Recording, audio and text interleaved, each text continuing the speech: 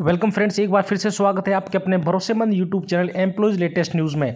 देश भर के करोड़ों कर्मचारी पेंशनरों को लगी सबसे बड़ी लॉटरी। काफ़ी लंबे समय से कर रहे थे इंतज़ार। आखिरकार सपना हुआ पूरा। अठारहवा बकाया डी एरियर, साथ में डी में बम्पर बढ़ोतरी के साथ साथ एक और बड़ी खुशखबरी। नए साल से पहले ही हो गया नए साल पर मिलने वाले तोहफों का ऐलान। कर्मचारी पेंशनर हो गए मालामाल। जानेंगे सभी खबरों को विस्तार से। सबसे पहले वीडियो को लाइक कर दीजिए, क्योंकि लाइक हमारी मेहनत का फल होता है। साथ में चैनल पर फ़र्स्ट टाइम विज़िट किया तो चैनल को सब्सक्राइब करके बेलाइकन दबा दीजिए, ताकि कर्मचारियों पेंशन भोगियों और जवानों से संबंधित वीडियो को नोटिफिकेशन आपके पास पहुँचे सबसे पहले। तो चलिए जानते हैं खबरों को विस्तार से बिना किसी देरी के।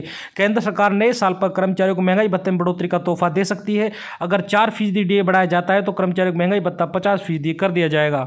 केंद्र सरकार अपने कर्मचारियों को नए साल के मौके पर महँगाई भत्ते में बढ़ोतरी का तोहफा दे सकती है, क्योंकि सरकार साल में दो बार जनवरी और जुलाई के दौरान डीए में बढ़ोतरी करती है। सरकार ए इंडेक्स के आंकड़ों के मुताबिक सात वेतन आयोग के तहत केंद्रीय कर्मचारियों के महँगाई भत्ते में इजाफा करती है। इस कारण कई बार कर्मचारियों को डीए में तीन फ़ीसदी तो कई बार चार फ़ीसदी बढ़ोतरी होती है।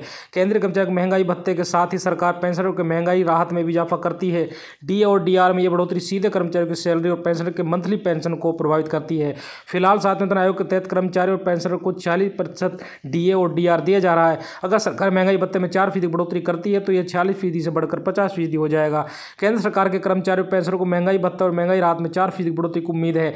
ऐसे में अगर डी और डी बढ़कर पचास फ़ीसदी हो जाता है तो कर्मचारी सैलरी और पेंशनर के पेंशन में बढ़ोतरी देखने को मिलेगी। इस बढ़ोतरी के बाद कर्मचारी की न्यूनतम सैलरी में नौ हज़ार रुपये तक की बढ़ोतरी देखने को मिलेगी। सरकार इस बढ़ोतरी को जनवरी के बाद फरवरी या मार्च में बढ़ा सकती है। इसी साथ एक और बड़ी खबर की बात करें तो मेघालय राज्य सरकार ने कहा कि पचपन हज़ार सरकारी कर्मचारियों को दिसंबर का वेतन जल्द जारी किया जाएगा। ऐसे में दिसंबर के लिए इन कर्मचारियों को वेतन बढ़ाकर आएगा।